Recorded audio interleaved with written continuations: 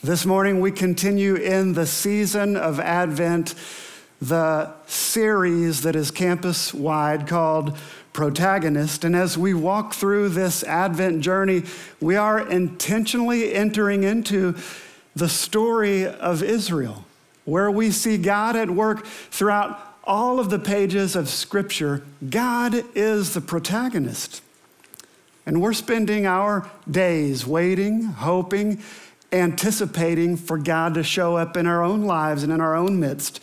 The word Advent means the innovation of something, the arrival of someone. And culturally speaking, when we use that word, oftentimes we're talking about the advent of some new technology. And so, the advent of the smartphone promised to give us the world in our fingertips and ability to multitask and be efficient. It feeds our obsession with time. But if we take a step back and really consider how these things dominate our lives, our children's life, we see that's not necessarily the case. We are more mastered by the advent of this technology, distracted. We lose track of time. Anxiety steps in and fills us in the kingdom imagination, Advent pushes back hard against all of that and invites us to wait, to slow down and let hope build. And last week we learned that that word wait means the same as hope. And so we do just that. During Advent, we remember and anticipate the comings of the Christ. And we say this repeatedly so that it gets into our soul because it's so much more than four weeks out of the year. We remember, we anticipate the comings of Christ. He came once and we prepare to celebrate his birth. He comes repeatedly through the proclamation of the word and the power of his Holy Spirit. And Jesus Christ is coming back. And all of that is ripe with hope, and we don't want to miss a beat. We want to orient ourselves to this message of Advent, to the larger story, and learn what it means to wait. Isaiah, the prophet, does exactly that, and he invites us to do it with him. He lived and prophesied towards the end of Israel's kingdom reign, and he predicted their being conquered by Babylon, being led into exile, but he also prophesied that one day liberation would, be, would come. They'd be allowed to return to their homeland. Isaiah 1 through 39, chapters 1 through 39, is painful and difficult. And there's a lot of calling out the sins of the people, pointing to the judgment that is coming because of those sins. But Isaiah 40 is a new beginning in this book chapters 40 through 66, we see a distinct shift in Isaiah's tone. It's the second half of Isaiah, almost the gospel according to Isaiah. And that shift happens in the passage that we read this morning, beginning with verse 1. In a word, comfort.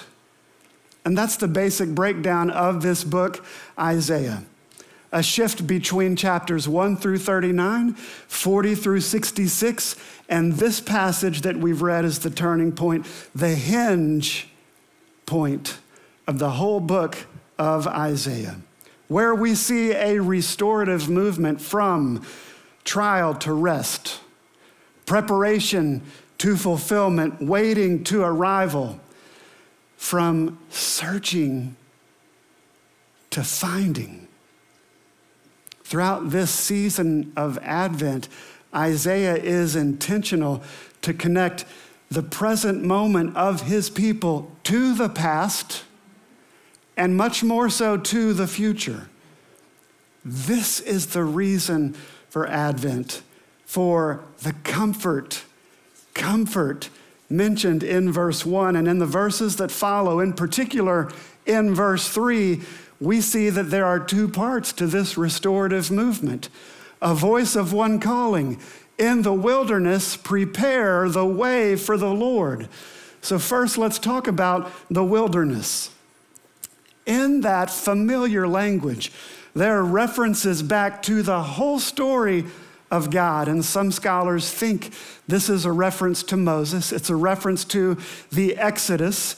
the second book of the Bible, the book of Exodus, we see that Israel had gone into an Egypt because of a famine in their homeland. They were in Egypt for a period of 430 years. Think about the generations and the numbers that amassed, and they flourished. But at some point in time, they became a threat to Pharaoh, the king of Egypt, who subjected them to harsh working conditions, and that is an understatement. We're talking oppression and judgment and slavery. But God heard the cry of his people. They were not even necessarily crying out because of their plight, not necessarily crying for help, even crying out to God. And God intervened. Moses led God's people straight out of Egypt. And in that story, God is the protagonist, breaking generations free from their oppression, delivering them from their slavery and bondage to the mightiest empire in the known world at that time, Egypt. God brought Pharaoh to his knees.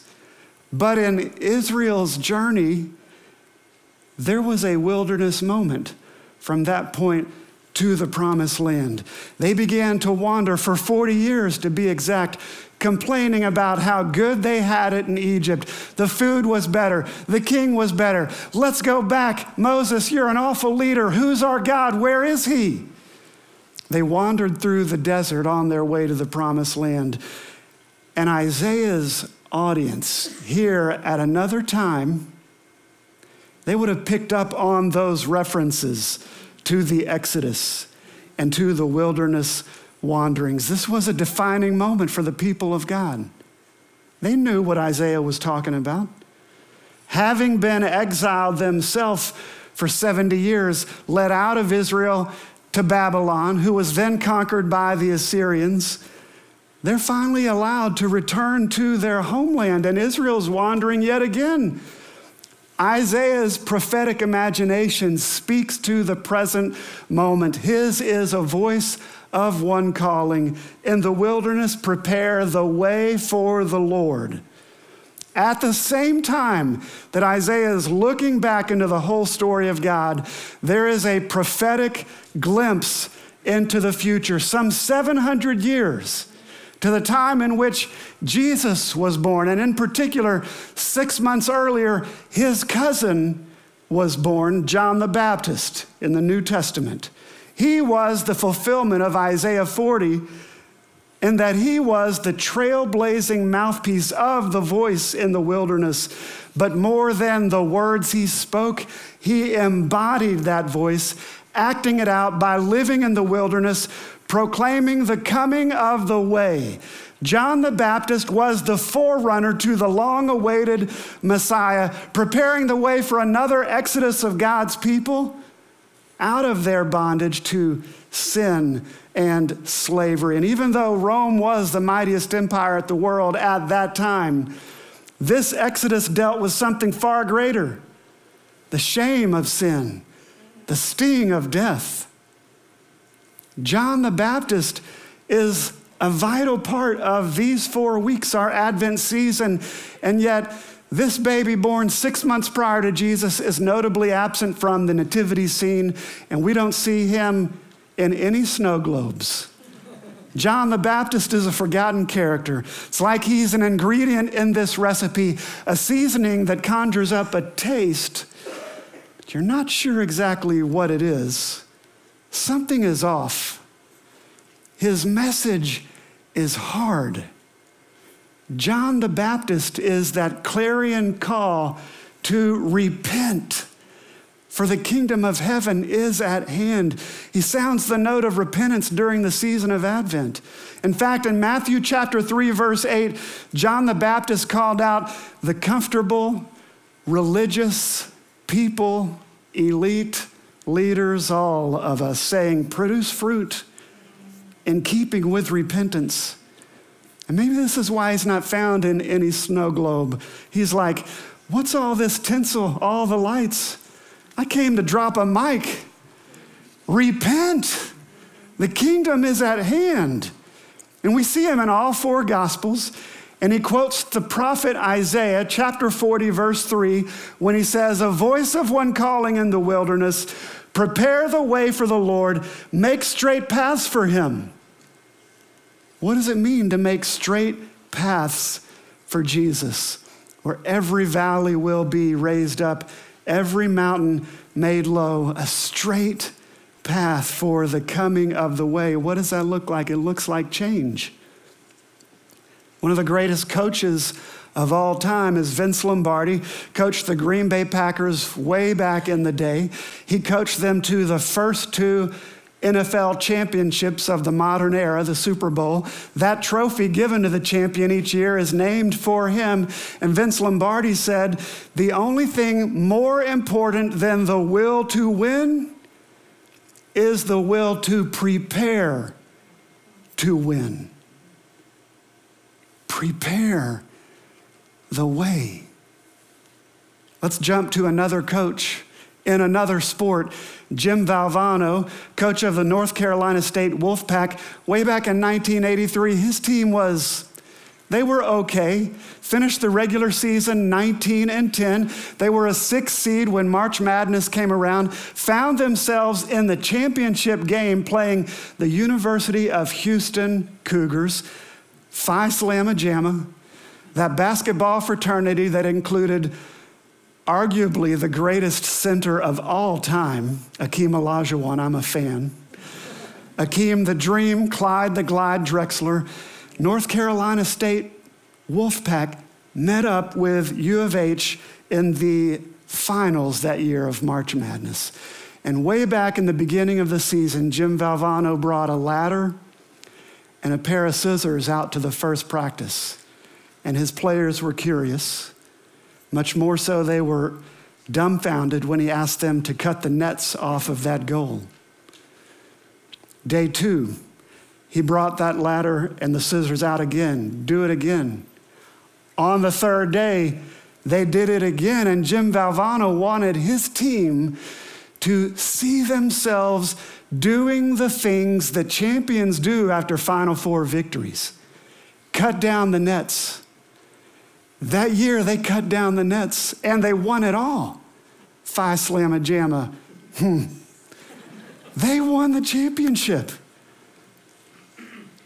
Prepare. What does it mean to prepare the way? It means to cut down the nets, to see yourself, ourselves, doing the things that Christians do. And so we picture him coming. Because that's what Advent is all about. He came once, He comes repeatedly. Jesus is coming back. There's only one thing left to happen in our story. He comes all the time we are waiting for Jesus' triumphant return and final victory.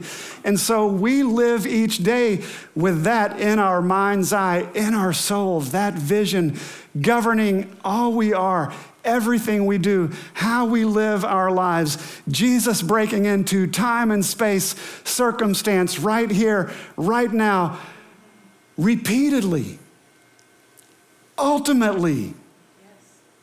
It's as good as gold. So may that vision be deep within you and me and we who gather and scatter week in and week out church. God is the protagonist in the story who entered into time and space way back when his people were wandering through the wilderness in Moses' day, way back when Isaiah was leading his people through the wilderness back to the promised land, way back even in John the Baptist's day, but even and especially your day, my day, the wilderness we find ourselves in. There is a voice of one calling in the wilderness prepare the way, make straight paths for Him. And so, what does it mean to prepare the way for the Lord? It means two things. Remember, first and foremost, Isaiah was pe- speaking to a people on the way out of the wilderness of Babylon, reminding them have, of God's activity throughout their experience as a people exercising prophetic imagination towards the future as God's salvation was coming again and again. God has been preparing the way out of the wilderness at God's initiative. Salvation is God's doing. The kingdom of God is at hand. It has now come, and of its reign there shall be no end. And so we've looked back, we've looked forward. I want to invite you to look past John the Baptist into our own circumstance because I know that there are many of us who find ourselves in a wilderness moment. Maybe you've been in one this season, this year. Marriage is in the room, on the brink of disaster. Parents in this room whose heart breaks for their adult children to find their way back to Jesus. People in this room struggling with identity and purpose, battling with sin,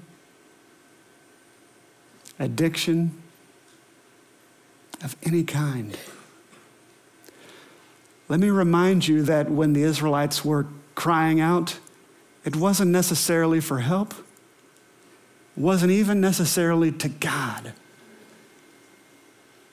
He sees you in the wilderness.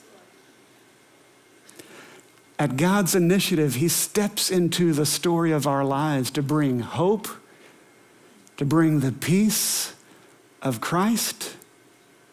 This is all God's initiative. Second, the word prepare actually also means repent.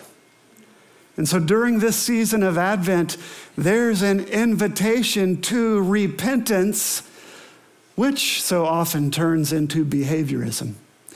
If I could just be better, do better. But we're not talking about behavior modification.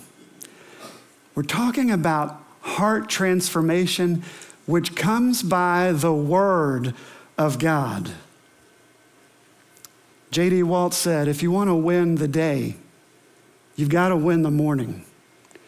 If you want to win the morning, you've got to give Jesus the first word.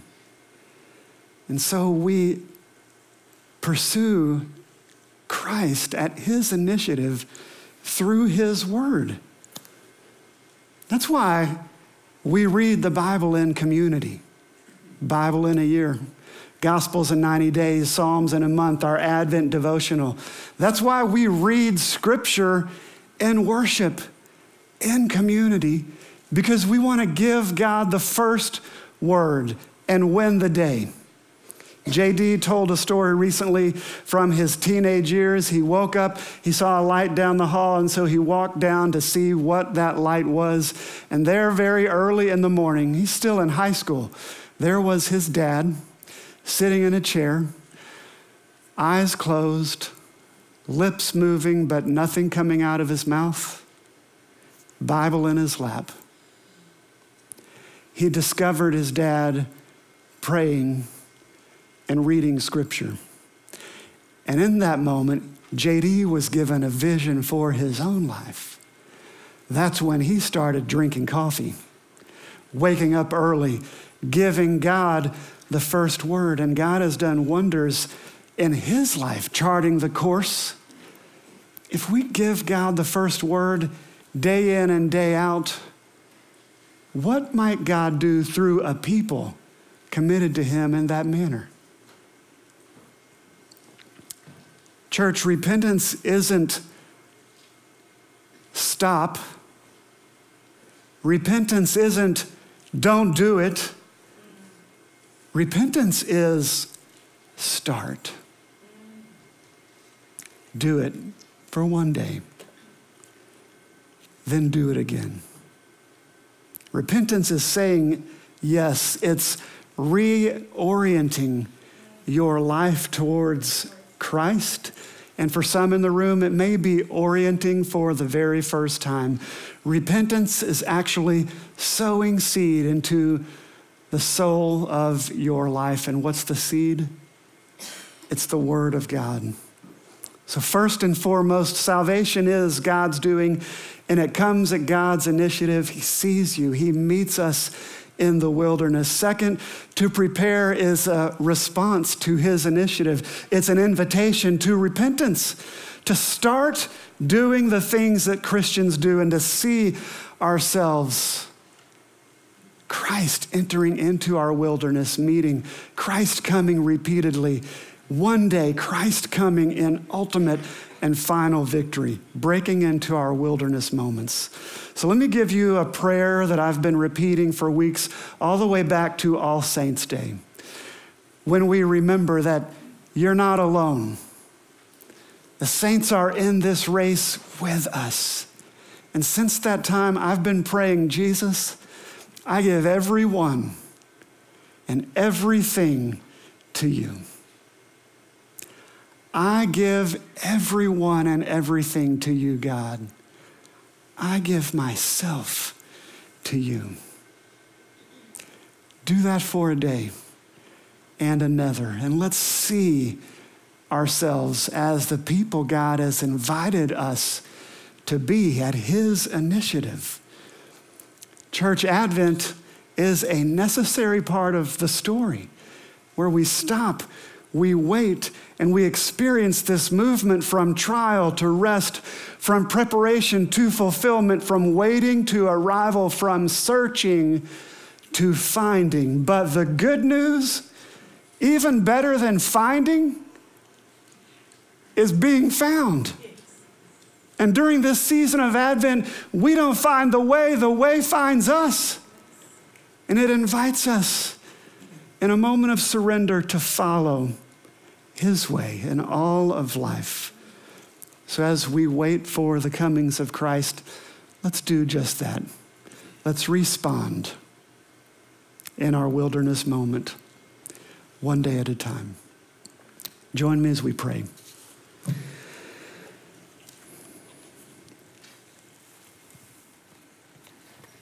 Lord God, we are grateful for your presence in our midst. Grateful that you took the initiative to wait on us. And in our showing up, Lord, as we've waited on you, as we respond to you, would you respond just the same? Lord, fill us with hope, fill us with peace. Meet us in our wilderness moments, and more so, lead us out of them that we might have your preferred vision for the rest of our lives. Thanks for finding us. Save us to the uttermost. In Jesus' name we pray.